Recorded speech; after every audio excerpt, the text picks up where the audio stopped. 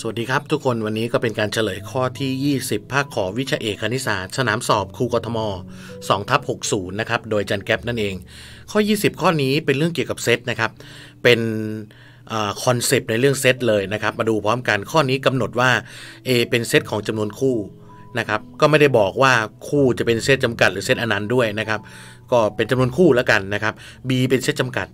เซตจำกัด B เนี่ย เป็นเซตใดๆนะครับ หน้าตาเป็นยังไงก็ไม่รู้นะฮะ ต่อไป C เป็นเซตอนันต์นะครับเขาถามว่าข้อใดต่อไปนี้ถูกต้องอามาวัดกันนะครับ ลองดูข้อที่ 1 เขาบอก B เป็นสับเซตของ A B เป็นเซตจำกัดนะครับ A เป็นเซตของจำนวนคู่ B เป็นสับเซตของ A เนี่ยถูกต้องไหมคำตอบคือไม่ถูกครับบางคนถาม เอ้าทำไมไม่ถูกล่ะอาจารย์ B เป็นสับเซตของ A นะครับ B เนี่ย เราจะยกตัวอย่างยังไงก็ได้เรียกว่าการยกตัวอย่างค้านนะครับ B เป็นเซตจำกัด เช่น B เป็นเซตของ1เนี่ยจำกัดแล้ว A เป็นเซตจำนวนคู่นะครับ ก็เป็น 2 4 6 อะไรก็ว่าไปนะครับ ยังไงมันก็ไม่เป็นสับเซตกันอยู่แล้วนะครับ เพราะฉะนั้นข้อนี้ผิดอยู่แล้วนะฮะข้อที่ 1 ผิดอยู่แล้วนะครับ ก็คือวัดเรื่องเกี่ยวกับยกตัวอย่างค้านด้วยนะครับ เรื่อง concept ด้วยนะครับ ข้อที่ 2 ครับ ถามว่า B เป็นสับเซตของ C ไหม B เป็นเซตจำกัด C เป็นเซตอนันต์ เป็นสับเซตไหม คนส่วนใหญ่ดูเพลินๆนะครับ มันก็อาจจะเป็นสับเซตก็ได้ แต่แต่อะไร มีเป็นเซตจำกัดเนี่ย มันก็คือมีสมาชิกที่นับจำนวนตัวได้นะครับ มันเป็นเซตจำกัดก็จริง แต่มันอาจจะไม่เป็นสับเซตของ C ก็ได้ B กับ C อาจจะไม่เกี่ยวกันเลยก็ได้นะครับ เช่น B ของเราเป็นเซตของ 2 4อะเป็นเซตจำกัดนะครับ 2 4 5ก็ได้อะ2 4 5 สมมติ C C ของเราเป็นเซตอนันต์นะครับเซตอนันต์ก็อาจจะเป็นเซตอนันต์ที่เป็นจำนวนคี่อนันต์ก็ได้นะครับเนี่ยหกหนึ่งสามห้าเจ็ดเก้าสิบเอ็ดเนี่ยไปเรื่อยๆเห็นไหม B กับ C อาจจะไม่เกี่ยวกันก็ได้ครับเห็นไหมฮะเพราะนั้นข้อหนึ่งข้อสองเนี่ยผิดเลยนะครับเพราะนั้นถ้าใครใครมี concept ดีๆเนี่ยแทบไม่ต้องยกตัวอย่างค้านเลยนะครับต่อไปข้อสามครับ ข้อสามบอกว่า A intersect B เป็นเซตจำกัดอะเรามาดู A กันครับ A เป็นจำนวนคู่ครับ A เป็นจำนวนคู่อะนึกภาพจำนวนคู่ B เป็นเซตจำกัด เขาบอก intersect กันจะเป็นเซตจำกัด จริงไหม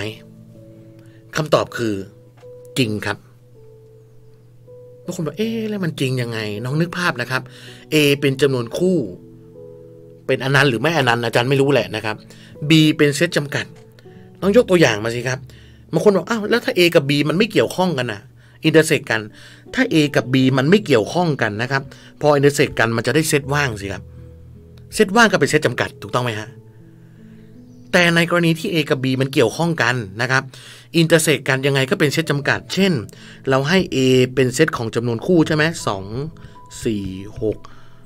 มันจะมีอะไรด้วยมีมันมีติดลบก็มีนะครับนะฮะอะไรอะไปเรื่อยๆเลยนะครับ จริง ๆ อาจารย์เขียนงี้มันมันก็ไม่ครอบคลุมอะมันต้องเป็นอย่างนี้อ่าไปเรื่อยๆถ้าเขียนแบบถูกต้องตามหลักนะจะเป็นงี้นะครับจำนวนคู่เนี่ยมันก็โอ้เยอะแยะเลยนะครับ 2 ต้องเป็นเลข 2 เฉยๆ เลข 2 เลข 6 เนี่ย ไปเรื่อยๆ เนี่ยนะครับ นี่คือ A นะครับ เป็นจำนวนคู่ ในกรณีที่ A กับ B มันเกี่ยวกันนะครับ A กับ B มันเกี่ยวกัน เช่น B เป็นเลข 2 เนี่ยนะครับ intersect ยังไงก็เป็นเซตจำกัดนะครับ บางคนบอก อ้าว แล้วถ้า A เป็นเลขหนึ่งเอ้ย ถ้า B เป็นเลขหนึ่งอะที่มันไม่เกี่ยวกับ A เลย intersect กันมันก็เป็นเซตว่างไงครับ เซตว่างก็เป็นเซตจำกัดอยู่ดีนะฮะเพราะนั้นในที่อาจารย์พูดก็คือครอบคลุมหมดแล้วนะครับ ทั้งเกี่ยวกับไม่เกี่ยวนะฮะเพราะนั้นคำตอบข้อนี้ตอบ choice ข้อ 3 ที่เป็นคำตอบที่ถูกต้องครับ ข้อ 4ทำไมถึงผิด ข้อ 4 B เป็นเซตจำกัดครับ C เป็นเซตอนันต์ครับ intersect กัน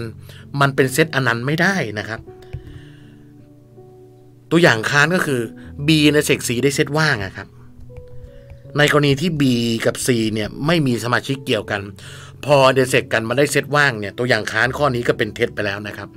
ข้อ 4 ก็เลยกลายเป็นเท็จนะครับคำตอบข้อนี้เลยตอบข้อที่ 3 ครับนะครับ ก็ลองไปทำดูนะครับ ลองตามเข้าใจนะครับ อันนี้เป็นเรื่องเกี่ยวกับอ่า mindset นะครับ เป็นเรื่องเกี่ยวกับคอนเซปต์ในเรื่องเซตเลยนะฮะเนาะเดี๋ยวไปดูโจทย์ข้อถัดไปกันครับ สวัสดีครับ